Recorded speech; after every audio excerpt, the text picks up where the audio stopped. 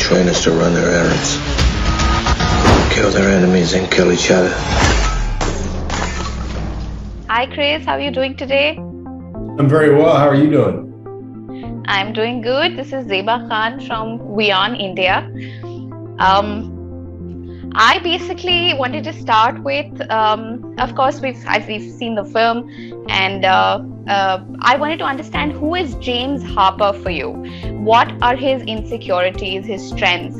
What makes or breaks him?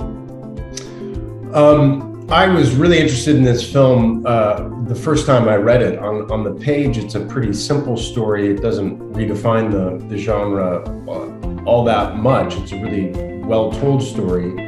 Uh, but what made it fascinating and very complex for me is that it had uh, it spoke a lot about what it meant to be an American military man.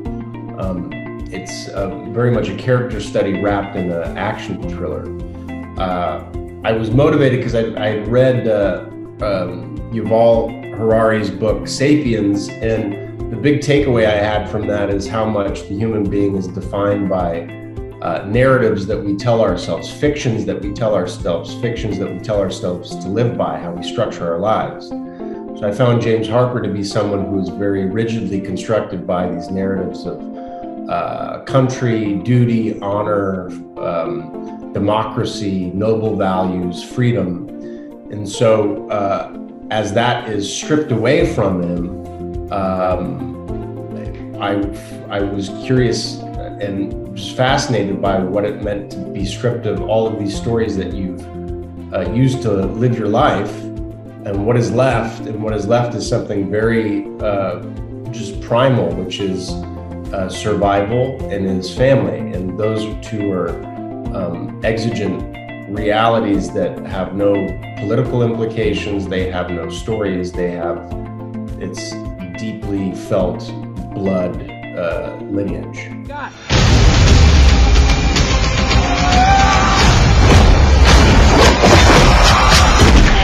You you're loved in the film and there are so many ups and downs right. Uh, like your character is loved in the film right so right. you you but you fall out of favor and right. uh, you're no longer a part of the US Army also. But then you pick yourself up and then you do good for yourself. Right. So um, in, in in real life, uh, when you face such tricky situations, yeah. how do you how do you deal with it?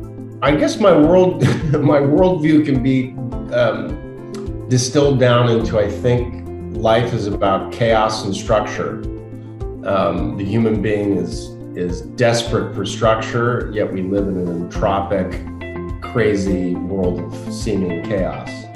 So some people love the chaos, and some people like the rigidity of structure. And I think, you know, I guess it's like a Taoist mentality. It's like I, I feel I strive for the middle path, you know, have a foot in each but never get beholden to, to either. So if, you know, if you've tried to structure something in a certain way to get a certain result and it doesn't go your way, you know, you can bemoan it for a second, just try to find your way back and water off a duck's back or be like water or any of those, you know, good aphorisms to live by.